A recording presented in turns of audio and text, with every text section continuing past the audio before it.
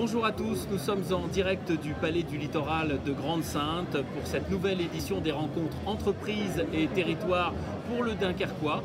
Et j'ai à mes côtés Patrice Vergrit, le président de la communauté urbaine de Dunkerque et bien sûr maire de, Dunkerque.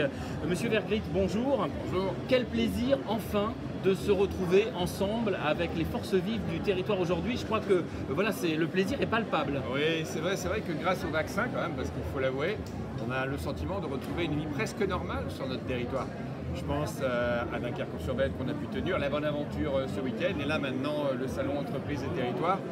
Oui, c'est vraiment il y a un plaisir de se retrouver après avoir été longtemps confiné et après avoir eu peur quand même pour le, pour le monde économique local qui a beaucoup souffert pendant cette pandémie quand même. Alors c'est pas tout à fait terminé, la pandémie est encore là, mais c'est vrai qu'on sent les effets d'une vie presque normale. Alors justement, vient de s'écouler une année ô combien compliquée pour tout le monde à différents niveaux.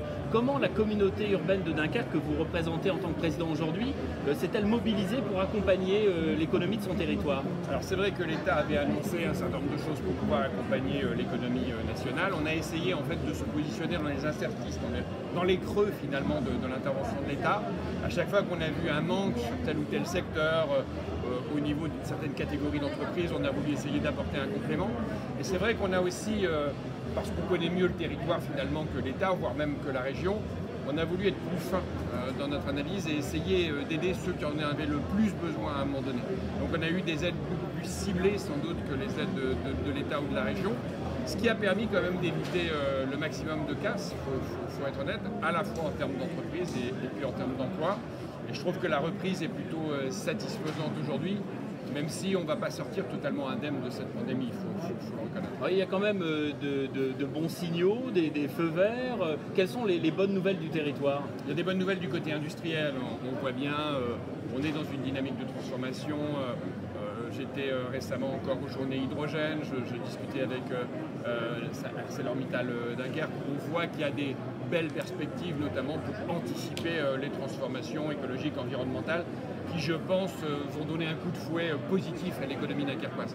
Et puis derrière, le tissu entrepreneurial qui a quand même euh, résisté.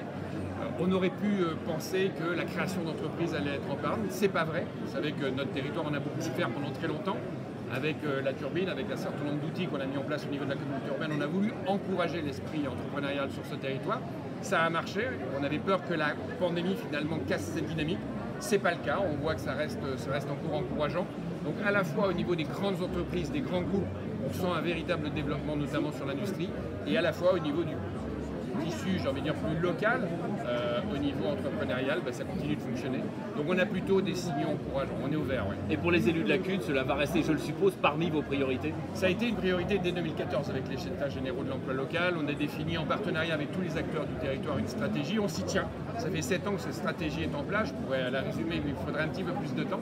Mais cette stratégie est en place, elle porte ses fruits euh, aujourd'hui, on le voit avec euh, la modernisation de notre outil industriel, avec euh, l'entrepreneuriat qui se développe, avec le tourisme, des, secteurs qu'on n'avait pas euh, développés jusqu'à présent. Regardez le cinéma. On est devenu euh, le, troisième site d'accueil. Un, un vrai territoire de cinéma. alors qu'en 2014, on n'était pas grand-chose. Donc c'est vrai que on a marqué les points sur la stratégie qu'on a voulu partager avec les acteurs du territoire. Donc on va continuer et continuer dans ce sens en continuant à gagner. Voilà. Merci Patrice Vergrit et bonne visite du salon Entreprise et Territoire. Venez nous retrouver jusqu'à 16h.